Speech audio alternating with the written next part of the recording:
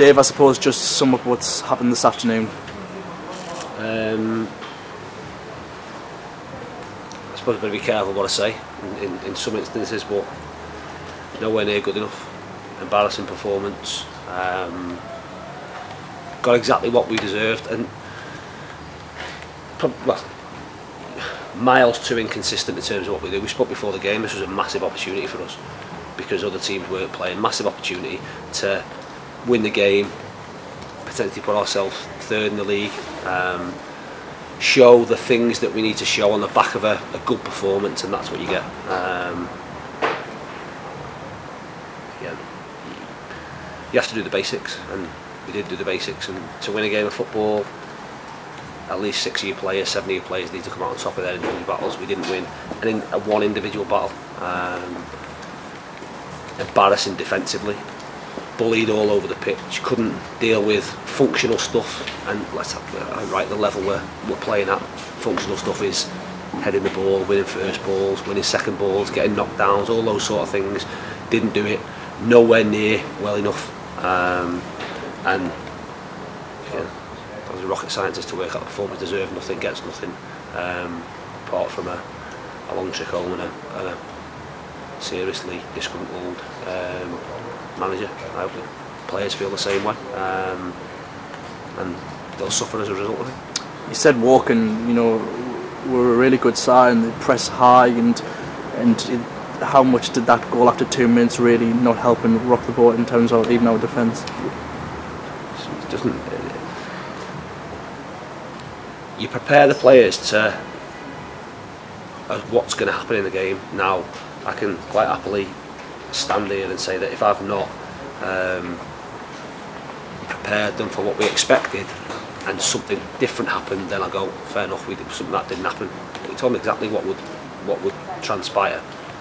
The fact of it is, you have to need to deal with it, and did deal with it. Two centre backs bullied, a decent game on Tuesday, absolutely horrendous today. Cass got loads of plaudits, done well, but great game on Tuesday, terrible today. And I can go through the team and pretty much say that across the board. There aren't, like I say, Luke Armstrong fed on scraps. Apart from him, um, every other player in there was less than bang average. Really, really, really, really poor. Um, and like I say, we have to digest it. We have a, a full week, and there's people been asking for opportunities. Um, people will get opportunities next next Saturday.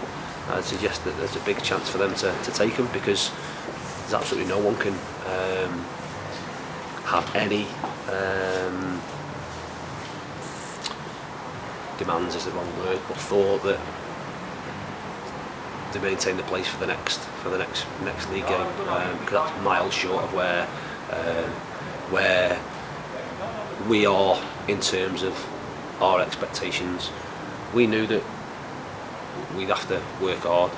We're a hard working team, but we didn't do the basics today.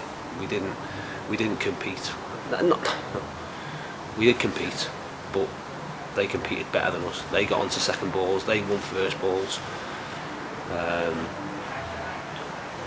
we knew that they would press and we wanted to try and I suppose play forward a little bit more and play beyond that press and get people in. That's why we went with, with Mason and, and with, with Lucas two focal points for us. Didn't do that, didn't put the goal, ball in good areas, didn't um, get hold of the ball when we needed to. Um, and listen, the goals are an absolute shambles. 799 or however many fans in here today. How much do you think that affected us, or do you think it affected the game at all? No, no effect whatsoever. It just means 799 people saw a dire performance from, from us. They'll listen. They'll be happy with, with their performance, and, and quite rightly so, um, because they're good at what they do. Um, they know where the the strengths are. There's a again realise where you where you're playing. There's a there's a there's a skill in, in clearing the ball and putting the ball into good areas and, and being willing and and, and, and um, causing mistakes in the in the defensive third or in our half of the pitch. Did that really really well. But that's not something we haven't told the players would happen. Um, so the disappointing thing for me is that they couldn't adapt. They couldn't do what was asked to at least from the start to get a foothold in the game um, and they almost looked surprised that that happened um, which again is not acceptable um, and like I say we'll, we'll, we'll, we'll have to we'll have to go through it. Ruins ruins everyone's weekend. Um, and I give them a challenge at half time um, around the game. They didn't meet that so they suffer. Simple. 10 minutes after half time you completely changed the system um, Forster and Gray both came on. What was the thinking behind that? Just, to, just the original system just wasn't working yeah we again we normally or at times will play with a, a 4-3-3 and we, we tend to play with a 4-3-3 because it gives us um, a, a modicum of control if you like. So the centre backs then split and we're stepping into we're stepping into midfield. We knew that with what we were, were playing against that again match systems you're not really going to be able to get the ball up and play out so we had to play beyond that. Um, again change was made because the two players that came off and listen I'm not just picking out those two players. It could have been any of the any of the 10 players came off. It had no impact in the game.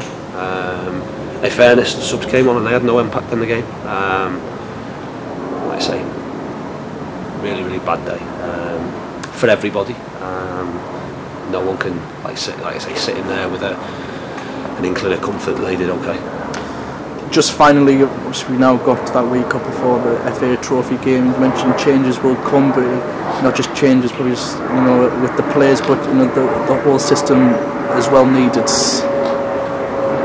Um, the plan around the FA Trophy hasn't, hasn't changed in terms of in terms of what we do.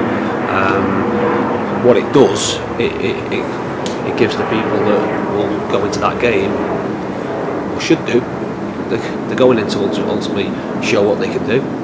But if they do well, then they, they play the following week. Simple as that. Because there's no one from that performance can come and go, oh, I had a decent game, and then never got never got played. Absolutely not. We're playing a team, like I say, because every single one of them would tell me that they should be in the, the, the starting 11. Well, some of them again will be in the starting 11. Um, some of them have had opportunities in the last couple of games, and what you've got to do is you have to be consistent. No good having a great game on a Tuesday and a horrific game on a, on a Saturday. Well, that's going to get us nowhere. I've said before. In the in this league especially, quite often it's not the best team get promoted.